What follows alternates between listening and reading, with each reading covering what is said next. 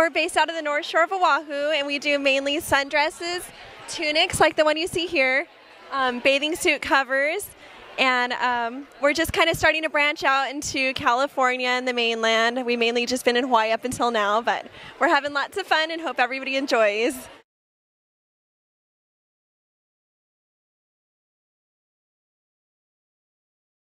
You can find it either on Facebook, which is um, facebook.com slash Hawaii, or our website is www.tiarehawaii.com.